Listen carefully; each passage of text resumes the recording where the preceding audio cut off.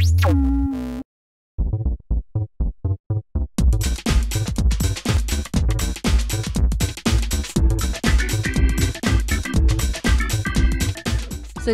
ročník tradičného letného podujatia Šašovské hradné hry sa uskutoční v sobotu 7. augusta so začiatkom o 14.30, kedy je naplánovaný výstup a prehliadka hradu spojená s útokom na posádku. Na 16. hodinu je pripravené šarmiarske, sokoliarske a kaukoliarske vystúpenie, hry a súťaže. Okrem toho môžete pozorovať slnko, zúčastniť sa tvorivých dielní, vyskúšať si jazdu na koni a tiež lukostralbu.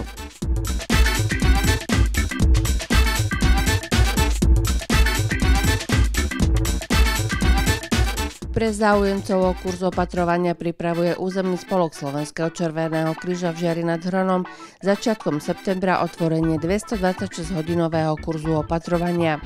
Prihlásiť sa môžete na zverejnený mail či telefón.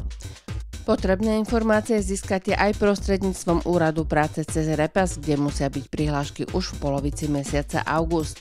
Najneskôr však 14 dní pred začatím kurzu. Cena kurzu je do 310 eur.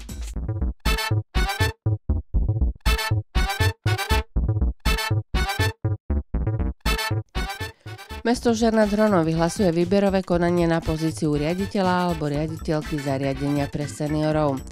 Prihlášku s požadovanými dokladmi do výberového konania doručte s vašou spätnou adresou v zalepenej obálke poštou alebo osobne najneskôr do 11.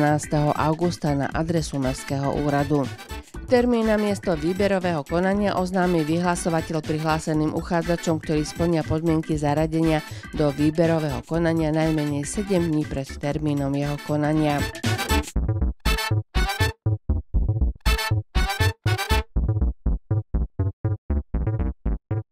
Pohronské osvetové stredisko pripravuje tvorivú dielňu pre neprofesionálnych výtvarníkov s názvom Paleta tvorivosti Plenér malba v prírode.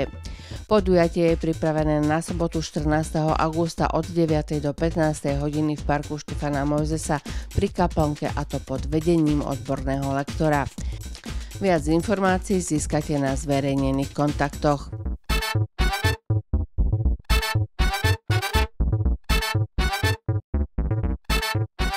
Dodávateľ tepla Veolia Energia Žiar nad oznamuje svojim odberateľom tepla zo systému centralizovaného zásobovania teplom na území mesta, že z dôvodu plánovaných rekonštrukčných prác na primárnom teplovodnom potrubí bude 24. a 25.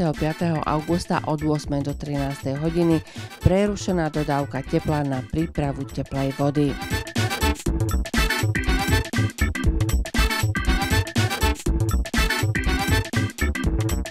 20. až 22. augusta sa budú konať vo Fínsku majstrovstva Európy dorastencov, juniorov a U21 v karate.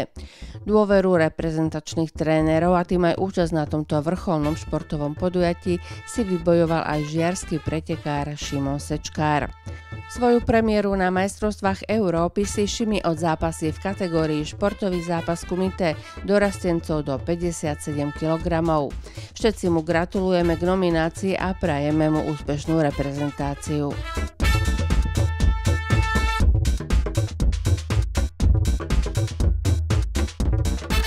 Žiarská hvezdáreň pripravila pre deti vo veku od 10 do 15 rokov letnú prázdninovú aktivitu pod názvom Veda a technika okolo nás. Denný tábor je určený pre deti, ktoré sa zaujímajú o prírodné a technické veci.